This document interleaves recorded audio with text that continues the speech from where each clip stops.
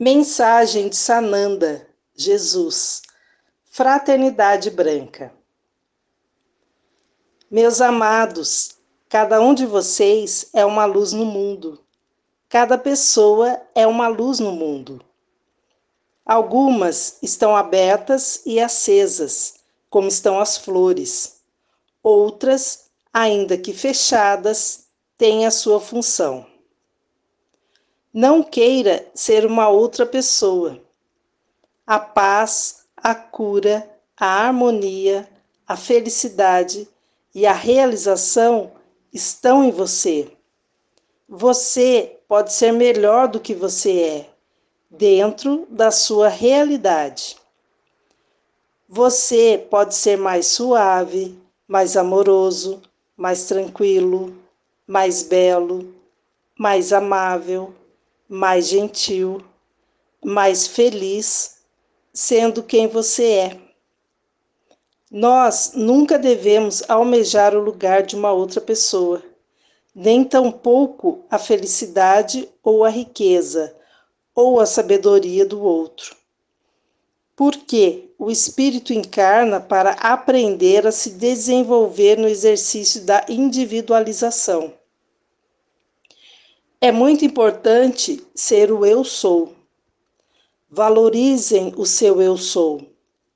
Respeitem a sua identidade.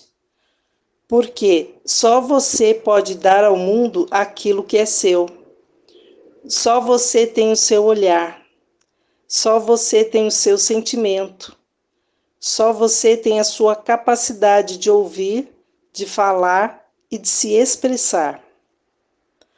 O outro pode ter algo que você, olhando de fora, se encante e ache muito bonito. Por isso se formam os grupos, por isso se formam as famílias e os relacionamentos.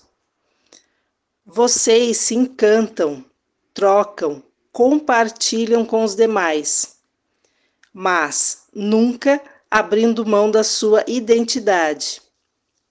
A espiritualidade verdadeira deve fortalecer o seu espírito, deve fazer com que a sua individualidade se torne cada dia mais bonita, mais doce, mais amorosa, mais tranquila.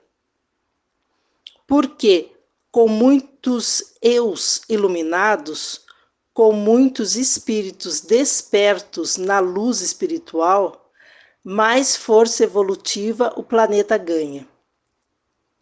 Acordem para a sua luz e façam a sua individualidade se tornar um ponto de muito amor, de muita luz.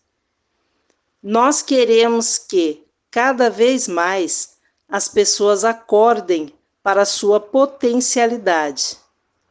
Você, com Deus, é muito forte.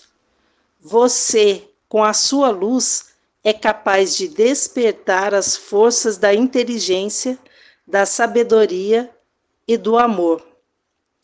Assim, o mundo se torna expansivo e próspero. Se mantenham na luz, estejam na luz e reverencie sempre o Eu Sou. Em sintonia com este momento de trabalho profundo e de transformação espiritual, eu sou Sananda e ofereço a minha cura.